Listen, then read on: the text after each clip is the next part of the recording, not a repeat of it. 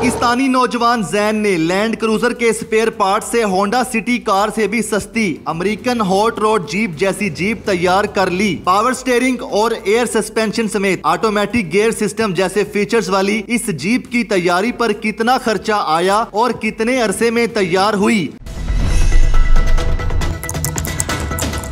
जैन भाई, ये बताइएगा, ये जो आपने जीप बनाई है इस जीप को आपने किस जीप को मॉडिफाइड करके बनाया? उसके बारे में बताएँ। किस तरह बनाया? प्रोसेस क्या थे? मटेरियल क्या इस्तेमाल किया? इस जीप को जनाब मैंने, हमने एम एट टू फाइव एक जीप ली। एम एट टू फाइव ये आर्मी की ऑप्शंस की जो जीप हुआ करती थी, वो है। और उस जीप को लेकर हम, वो इस्लामाबाद से परचेज़ की थी।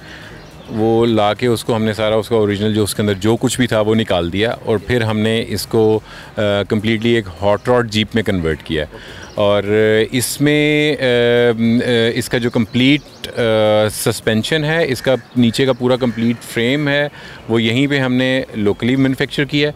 और इसमें जो इसके डिफरेंशियल्स हैं वो टोयोटा लैंड क्रूज़र के हैं और उनको भी एक्सटेंड किया हुआ है डिफरेंशियल्स को भी। इंजन इसके अंदर एल एस फोर थर्टी का है और बाकी इंटीरियर और बाकी चीज़ें जो हैं, वो कुछ इसकी अपनी इस्तेमाल की हुई हैं और कुछ जो हैं वो हमने कस्टमाइज़ की हैं रिस्टो फैब्रिका पे। इस जीप के पास चलते हैं, इसके फ्रंट लुक की बात करते हैं फ्रंट की जो विथ है, पहले कितनी थी, इसको कितना इंक्रीज़ किया गया, ये सारी लुक जो अब हम देख रहे हैं, इससे पहले क्या लुक थी? जी पहले वो एक अगर आप देखें कमांडो जीप बोलते हैं उसको वो वही ओरिजिनल वही शेप थी इसकी ठीक है? तो उसमें से जब हमने इसको इस पर कन्वर्ट किया ये अराउंड टू फीट एक्सटेंडेड है।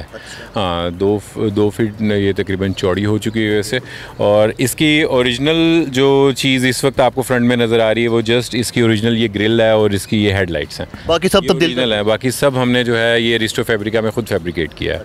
जी और इसका बोनेट जो है ये एक्सटेंडेड है। ये जो इसके इंडिकेटर्स हैं, ये एम एट टू फाइव पे ही होते हैं, लेकिन इसकी पोजीशन कुछ और होती है। ये यहाँ पे नहीं होते। मतलब ये थोड़ी सी डिफरेंट शेप में होते हैं। तो इसके फेंडर्स क्योंकि हमने खुद बनाए हैं तो इसकी पोजीशनिंग भी हमने फिर नहीं की है। और उसके अलावा अगर आप ये देखें बोनट के ऊपर एक इनटेक भी है एयर इनटेक भी है, और ये एक हमने इसके ऊपर मारखोर बना के लगाया हुआ है, ये तांबे का। तो इसके जो फ्रंट पे एयर सस्पेंशन है ये भी आफ्टर मार्केट है मतलब ये आपने इंस्टॉल किया?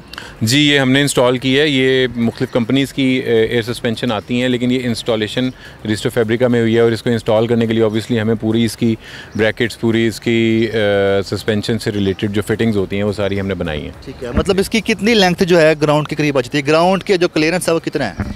ग्राउंड के क्लियरेंस इसका आपकी सिविक से भी कम है। अच्छा। अगर हम इसको नीचे लेके आते हैं अराउंड फोर इंचज़ और लेकिन हम नॉर्मल चलाने के लिए हम इसको उठा लेते हैं तो ये कहीं पे किसी स्पीड ब्रेकर पे लगने वाला इसका काम नहीं है वो नहीं अच्छा अब इसके जो साइड प्रोफ़ाइल है उसके बारे में बता दें। ये टायर्स किस गाड़ी के लगाए हैं आपने? जो इसके रिम है उसके बारे में बताएँ। साइड प्रोफ़ाइल पे ये जो आप अफेंडर कहते हैं जी रिम्स इसमें 15 के साइज़ के हैं और इसका जो टायर है वो 31 1050 है। और ये मड ट्रेन टायर है। और ये नॉर्मली जीप्स के अंदर आपने देखा होगा जो आफ्टर मार्केट टायर्स लगते हैं, ये वही रिम्स और टायर्स आफ्टर मार्केट हैं। ठीक है। इसके साइड प्रोफ़ाइल की बात करें तो बताएँ, ये साइड मिरर जो है, इसका जो डोर है, उसके बारे में बताइए। जी इसका ये डोर ये हमने ख़ुद रिस्टो फैब्रिका पे ही हमने खुद ही फैब्रिकेट किया है। इसमें डोर्स नहीं होते हैं एम ए टू फाइव में और ये जो इसकी स्क्रीन है ये स्क्रीन भी हमने खुद फैब्रिकेट की हुई है रिस्टो फैब्रिका पे। ये साइड मिरर्स हमने इस स्क्रीन के साथ कुछ इस तरीके से अटैच किए हैं कि जब हम इसको स्क्रीन स्क्रीन यहाँ से उठा के हम उस तरफ़ रख भी देते हैं। ठीक है मतलब आ, आपकी ये स्क्रीन लेस हो जाती है। तो आप जब वहाँ पे स्क्रीन रख देंगे तो उस वक्त भी हम इसको रोटेट कर लेंगे तो ये साइड मिरर्स तब भी ड्राइवर को हेल्प करेंगे पीछे देखने के लिए। और उसके बाद आप अगर ये देखें ये सारी जो इसकी सस्पेंशन है ये इसके कंट्रोल आर्म्स हैं ये सारे यहीं पे हमने खुद रिस्टो फैब्रिका में ही डेवलप किए हैं। इसका जो एग्जॉस्ट है आप फ्रंट पे ले आए हैं?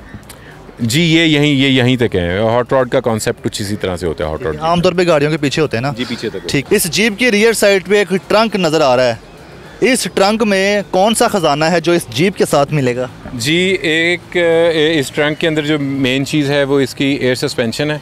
और एयर सस्पेंशन का एक सिलेंडर होता है वो इसके अंदर है इसकी बैटरी है इसका फ्यूल यहाँ से यहीं से फ्यूल टैंक इसके नीचे है तो हमने फ्यूल यहाँ से हमने डालना होता है इसके अंदर। इसका फ्यूल टैंक की कैपेसिटी कितनी है? इसके फ्यूल टैंक की कैपेसिटी अराउंड हंड्रेड लीटर्स है। सौ लीटर? जी। ठीक है तो इसकी माइलेज कितनी निकलती है? आपने निकाली इसकी एवरेज कि सौ लीटर पेट्रोल डलवाएँ? जी माइलेज इसकी एक्चुअली जिस तरीके से हम चलाते हैं तो उसमें कोई माइलेज का पता नहीं चलता। नॉर्मली इस इंजन की uh, जो ओरिजिनल एवरेज होती है वो पाँच छः होती है लेकिन जब इस तरह से आप कस्टमाइज़ कर लेते हैं तो उसकी एवरेज कम हो जाती है अराउंड फोर टू फाइव रह जाती है। जैन भाई इसके हम इंटीरियर की तरफ़ आ गए हैं।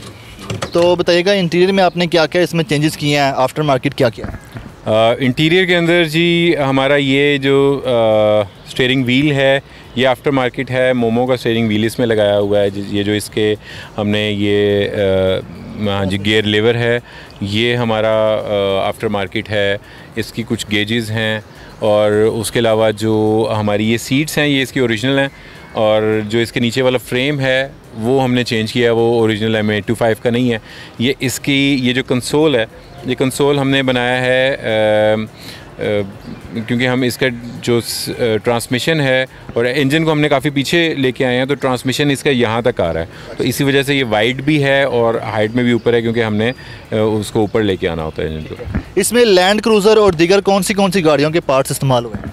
और कहाँ कहाँ पे हुए हैं? ज़्यादातर पार्ट्स हमने लैंड क्रूज़र के ही यूज़ किए हैं। जैसे इसका पिछला डिफरेंशियल है आगे वाला डिफरेंशियल है। डिफरे, आगे डिफरेंशियल तो नहीं है एक्चुअली उसकी जो सस्पेंशन के लिए हमने ट्यूब यूज़ की और फिर आ, इसकी जो इंजन है वो लेग्जिस का है एल एस फोर थर्टी का। और बाकी जो स्टेयरिंग रैक है इसका वो भी हमने लैंड क्रूज़र का यूज़ किया। इसकी स्पीड के बारे में आपने बड़ी बातें की थी उसके बारे में बताएँ क्या मतलब इसकी स्पीड वाकई सात सेकंड में हंड्रेड किलोमीटर जाती है? जी जिस वक्त इसका चेक किया था तब अराउंड सेवन सेकंड में हंड्रेड किलोमीटर थी लेकिन तब हमने बहुत सारी चीज़ें इसमें मज़ीद अभी काम करने थे।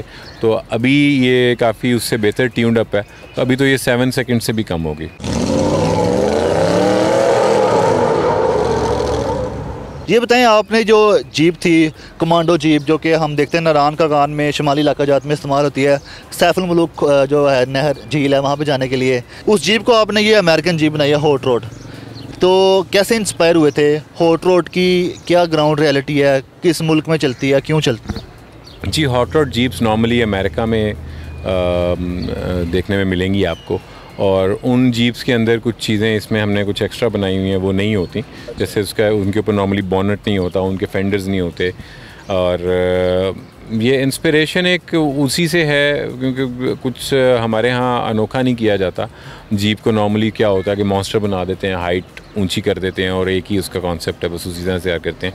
तो रिस्टो फैब्रिका हमेशा से कुछ ना कुछ ऐसा ही करना चाहता है मतलब हमारी टीम हमेशा से कुछ ऐसे ही करना चाहते हैं कि जो कि पाकिस्तान में पहले ना हुआ हो, कुछ नया हो। ये हमारे जितने भी प्रोजेक्ट्स होते हैं, वो इसी तरह से होते हैं कि जो कि पहली दफ़ा पाकिस्तान में कर रहे हो या कुछ इस तरह का हो, या डिफरेंट हो। इस जीप की तैयारी में कितना टाइम लगा? कितने अरसे में तैयार हुई है? कितना खर्चा आया है? टोटल बताइएगा, इसकी जो मॉडिफिकेशन है, इसको आपने फेस लिफ्ट किया है, उस पर और जो आपने पुरानी जीप खरीदी थी। जी, इसको बनाने में हमें अराउंड एट मंथ्स लगे थे। और उसके बाद अभी तक कई चीज़ें बीच में से चल रही होती हैं, कुछ काम, कुछ हमें लगता है कि इसको यार मज़ीद इम्प्रूव करते हैं, ये चीज़ बनाते हैं तो वो फिर काम वो तो चलता रहता है। और ख़र्चा इस पर अराउंड हमारा 3.5 मिलियन इनिशियली आया था फिर हमने वो जो कुछ इम्प्रूवमेंट्स किए हैं कोई तकरीबन दो ढाई लाख मज़ीद लग गया। तो ये हमारा इस वक्त इस पर एक्सपेंस है। जितने भी पार्ट्स इस्तेमाल किए हैं वो पाकिस्तानी ऑटो मार्केट से लिए हैं? जी यहीं से पाकिस्तान की ऑटो मार्केट से ही हमने ये सारे पार्ट्स परचेज मज़ीद जो इसके स्पेयर पार्ट्स अगर किसी ने चेंज करने हो मतलब यहाँ आपने चेंज करने हो तो यहाँ पाकिस्तान से मिल जाते हैं जितने भी पार्ट्स हैं? जी ये सारे पार्ट्स जो इसमें हमने यूज़ किए हैं वो ज़्यादातर लैंड क्रूज़र के हैं तो इसके सारे पार्ट्स यहाँ पे अवेलेबल हैं मिल जाते हैं।